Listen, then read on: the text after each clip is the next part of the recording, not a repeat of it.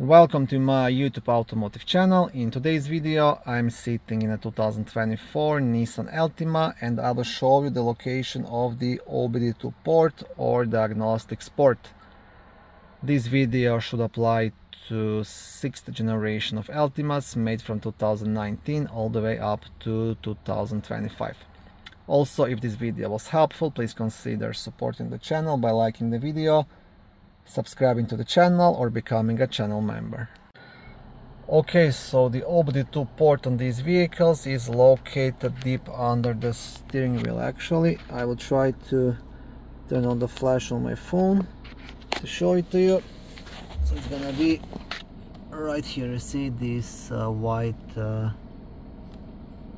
white uh, port, this is the OBD2 port and you'll have to connect OBD2 scanner to be able to scan and get codes from check engine light on, airbag light on, ABS light on and things like that. Okay, I will also quickly show you now this is my scanner. I have this uh, launch one. Now the price wise they range from a couple of dollars all the way to a couple of thousand dollars really depending on the functions. This one is uh, more basic one but it can read uh, almost all all lights such like airbag light uh, and uh, ABS light traction light uh, it can connect to all of the modules and this is the OBD2 connector right? So you just connect it to that port.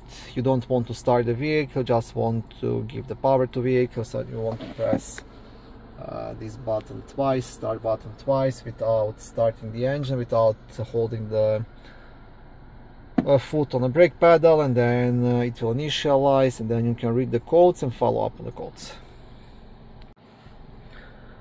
Thank you for watching this video. I hope it was helpful and educational. If it was, please like it and consider subscribing to my YouTube automotive channel.